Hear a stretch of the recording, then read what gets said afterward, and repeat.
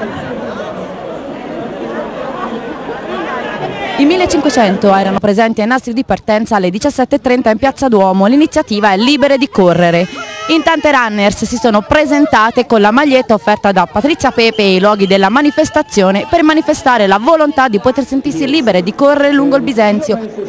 Il percorso è partito da Piazza Duomo per poi attraversare via Magnolfi, via Cavallotti in direzione sulla ciclabile verso Santa Lucia. Da Ponte Datini poi si attraversa il Bisenzio e si torna indietro. Bella manifestazione della piazza. Bravissimi, no no, molto bravi è un bel segnale perché è stata organizzata, devo dire, hanno avuto un approccio che è veramente efficace da questo punto di vista, almeno per come vivo io l'amministrazione, perché loro hanno fatto, sono stati, si sono posti in maniera molto costruttiva, fermi, rigorosi, cioè non è che hanno fatto sconti particolari, però in maniera molto corretta, molto aperta, cioè era una, erano segnalazioni molto costruttive da questo punto di vista. Io penso sia il modo migliore di interagire fra amministrazione e cittadinanza deciso di partecipare?